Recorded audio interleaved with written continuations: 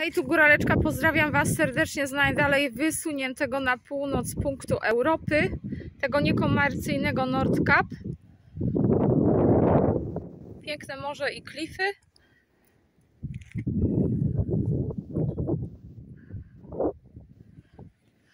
Tradycyjnie, jak to przystało na Góraleczkę, szpagacik na najdalej wysuniętym na północ punkcie Europy.